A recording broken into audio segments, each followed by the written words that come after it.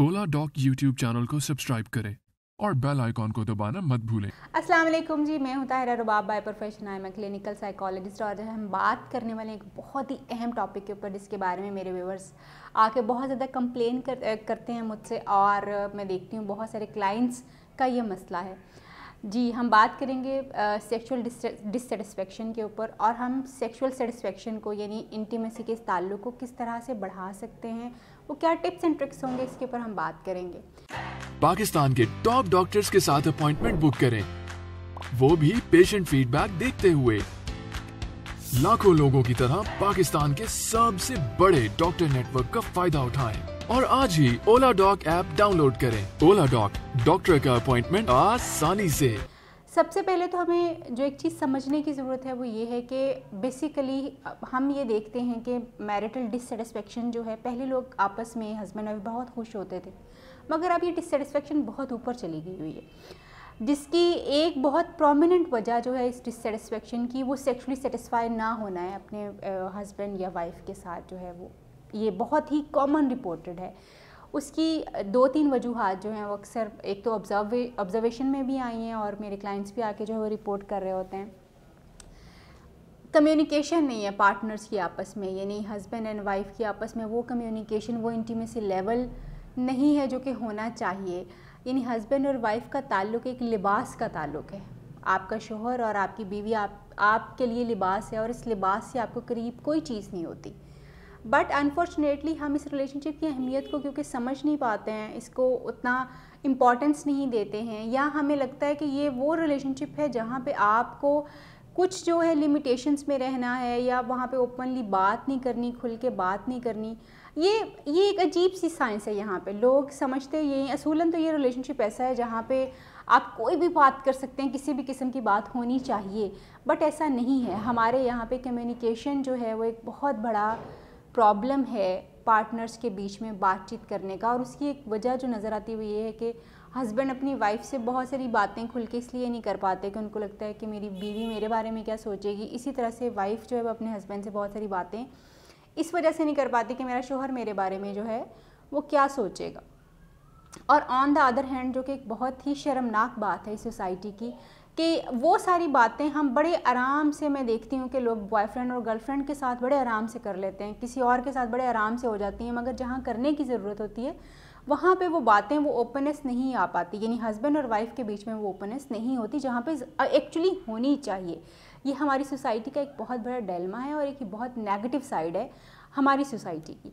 इसके अलावा जो एक चीज़ बहुत ज़्यादा ऑब्ज़र्व की गई है, जो मैं देखती हूँ, वो है इमोशनल अटैचमेंट हस्बैंड वाइफ दोनों साथ रह रहे हैं, एक रिलेशनशिप में बंधे हुए हैं, एक एक रिलीजियस एक लीगल ताल्लुक और एक सोशल बॉन्ड उनका बना हुआ है। मगर इमोशनल बॉन्डिंग जो है, वो बहुत ज़्यादा मिसिंग नज़र आती है।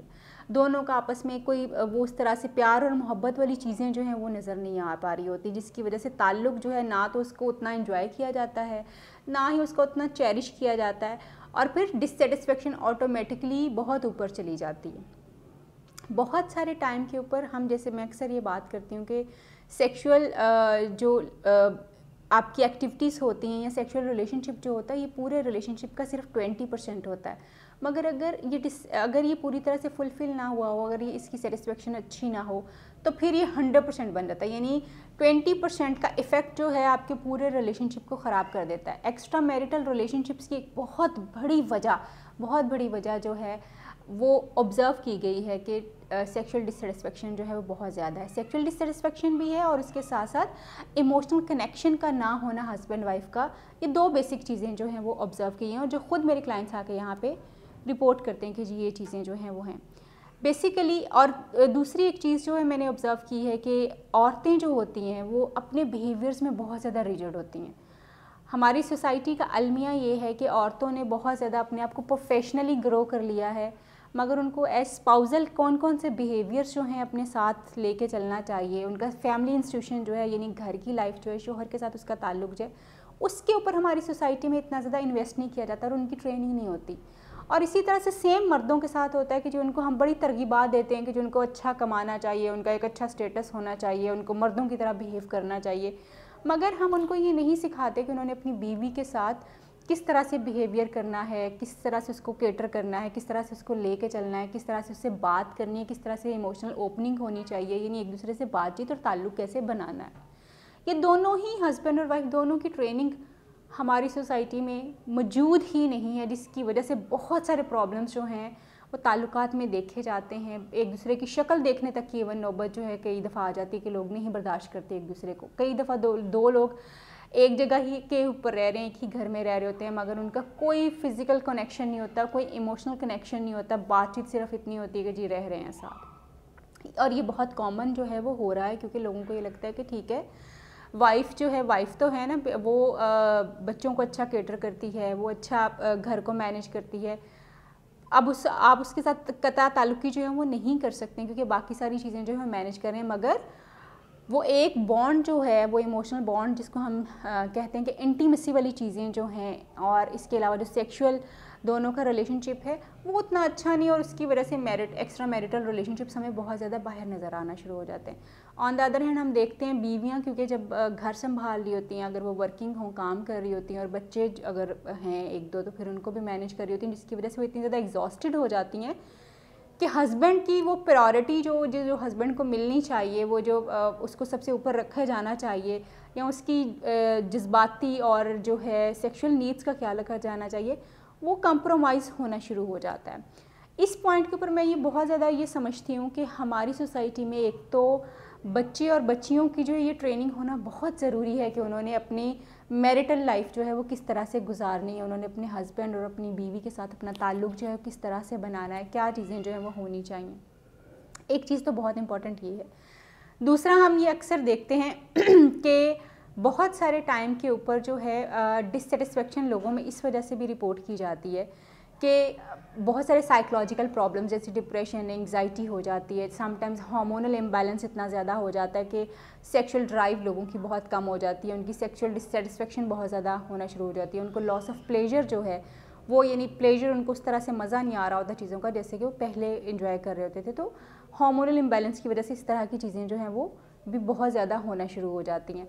एक बड़ी इंपॉर्टेंट चीज़ जो है, जो मेरे क्लाइंट्स आके मुझे खुद कहते हैं कि, मैडम हम किस तरह से किसी भी इंसान के साथ अपना रिलेशनशिप बना सकते हैं? जब, जबकि उस ख़ास लम्हे के अलावा जब कभी भी हम उस बंदे से बात करें तो वो अब्यूज़िव हो, वो गाली गलोच करे या वो अच्छे तरीके से हमारे साथ इमोशनली कनेक्ट ना करे तो हम किस तरह से सिर्फ़ जो है बेड के ऊपर उसके साथ जो है अच्छा रिलेशनशिप जो है वो बनाया जा सकता है। ये अक्सर फीमेल्स ये वाली एक बात जो अक्सर फीमेल्स आके रिपोर्ट करती हैं कि शोहर जो हैं वो, क्योंकि कनेक्ट नहीं कर पा रहे होते वो उम्मीद करते हैं कि बेड में जो है उनकी वाइफ जो उनके साथ एक अच्छा और इंटीमेट जो है वो रिलेशनशिप बना सके। ये तो वो कुछ चंद चीज़ें हैं जो मेरी अपनी ऑब्जर्वेशन में मेरे अपने क्लाइंट्स आके जो है रिपोर्ट करते हैं और देखने में आती हैं और रिसर्च इस चीज़ को सपोर्ट करती है कि जी क्यों मैरिटल डिससेटिस्फेक्शन हमारी जो है बहुत ज़्यादा ऊपर जा रही है। हम इसको बेहतर कैसे कर सकते हैं? सबसे पहले तो जो एक चीज़ समझने की है वो ये है कि अपने पार्टनर के ऊपर इन्वेस्ट कीजिए। यानी अपना लाइफ पार्टनर जो आपका हस्बैंड है आपकी वाइफ है उसके ऊपर इन्वेस्ट करने का मतलब ये है कि एक सही पार्टनर चूज़ कीजिए जिससे सिर्फ़ ना सिर्फ़ आपकी सेक्सुअल uh, कंपेटेबिलिटी हो उसके साथ आपकी मेंटल कंपेटेबिलिटी का होना बहुत बहुत ज़रूरी है। यानी इमोशनल कनेक्शन होना चाहिए। एक सही इंसान का अपनी ज़िंदगी में चुनाव जो है वो कीजिए, वो अगर आप शोहर अपने लिए देख रहे हैं, अगर आप अपने लिए बीवी चूज़ करना चाह रहे हैं तो दोनों सूरतों में ये ज़रूर ख्याल रखिए कि आपको किस तरह का शोहर चाहिए और किस तरह की बीवी जो है वो आपको चाहिए। पहली चीज़ ये है। दूसरी चीज़ जो इंपॉर्टेंट है वो ये है कि अपने हस्बैंड और वाइफ का रिलेशनशिप जो होता है ना, बहुत इंपॉर्टेंट होता है कि इसमें इमोशंस ज़्यादा इन्वॉल्व होते हैं। मगर वो इमोशंस जो हैं, जज्बात जो हैं, हम एक्सरसाइज कम करते हैं, उनका इजहार कम करते हैं, बीवियाँ भी और शोहर भी।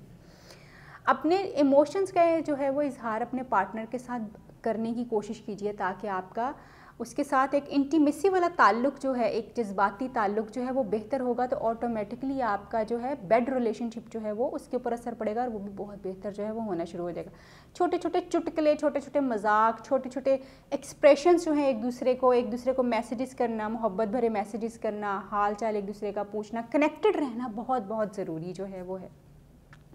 ये एक अपने अंदर चीज़ पैदा करने की कोशिश कीजिए।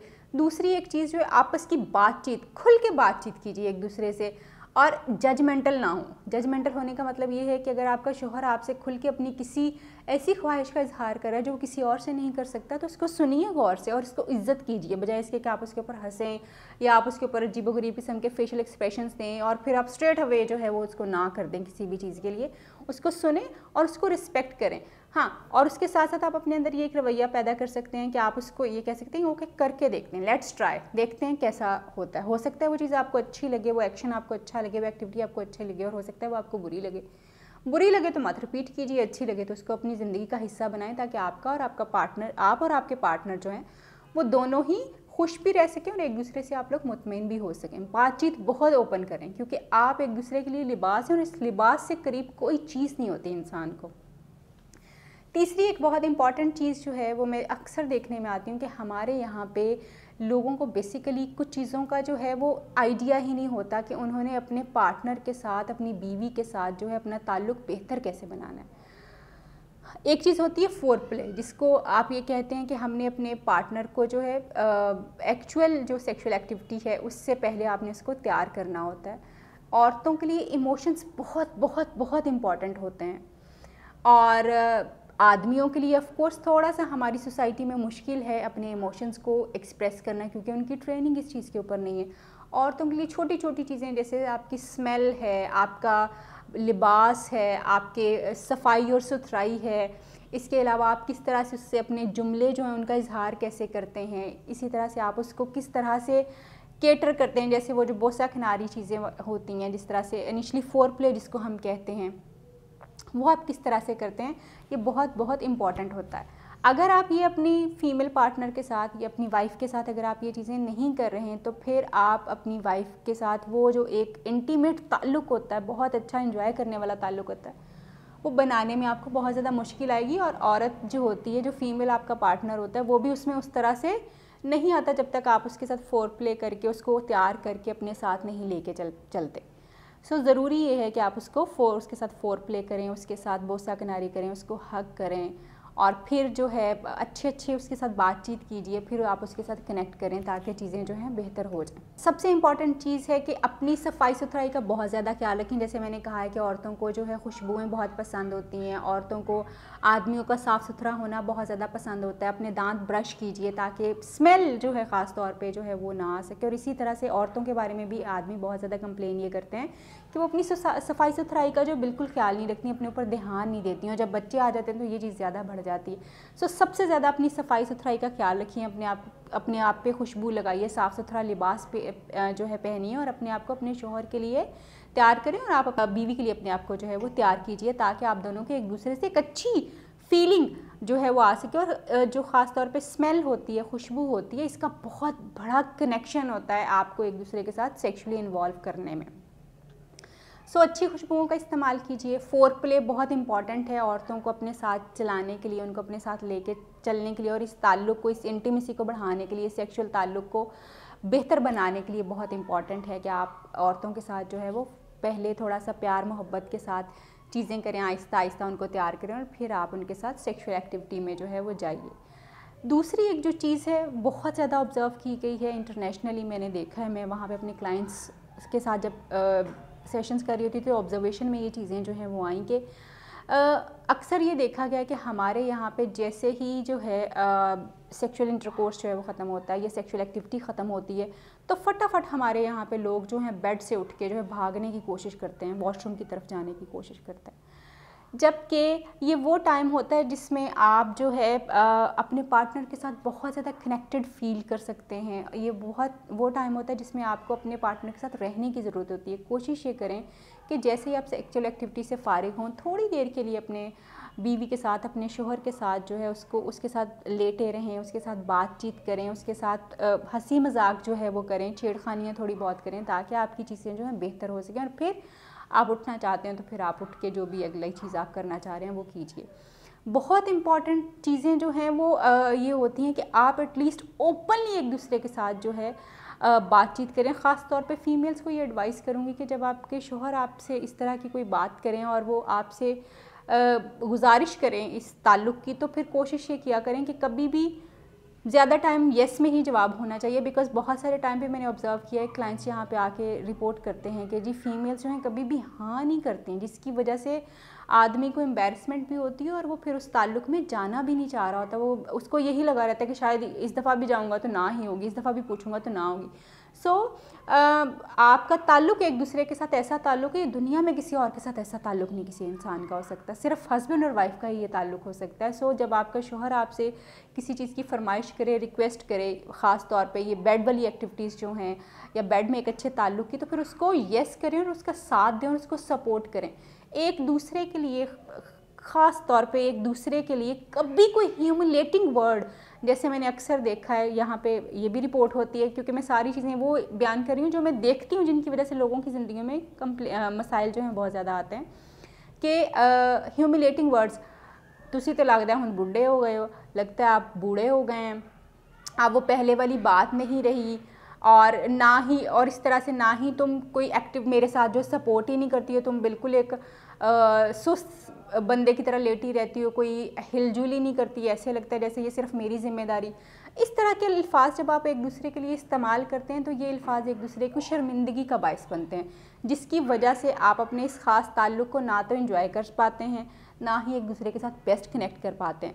कोशिश ये कीजिए कि एक दूसरे के लिए सिर्फ़ रिस्पेक्ट वाले वर्ड्स जो हैं, वो इस्तेमाल कीजिए ह्यूमिलेटिंग वर्ड्स मत इस्तेमाल कीजिए। उम्मीद करती हूँ कि मेरी ये वीडियो आप लोगों को कुछ थोड़ा बहुत हेल्प कर पाएगी आपके ताल्लुक़ को बेहतर करने के लिए। आपसे फिर मुलाकात होगी किसी नई वीडियो के साथ, किसी नए टॉपिक पर बात करेंगे। तब तक के लिए अल्लाह हाफिज़।